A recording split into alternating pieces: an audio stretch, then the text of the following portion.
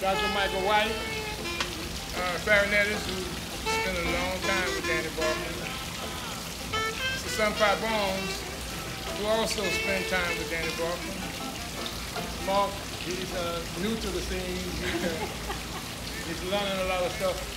And my name is Detroit Brooks, and we've been here talking about uh, Mr. Danny Barker, who, this festival is done in honor of of his contributions and stuff to the city of New Orleans and around the world. We are planning, uh, we are scheduling now our patron party here, and we want to call Miss Linda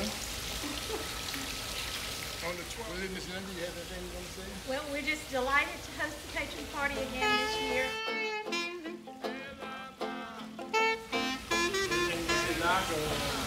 Well, it, I think the, the Danny Barker Festival is a great opportunity to honor the legacy of a great legend of not only New Orleans music, but all of jazz that made a significant contribution to the entire tradition.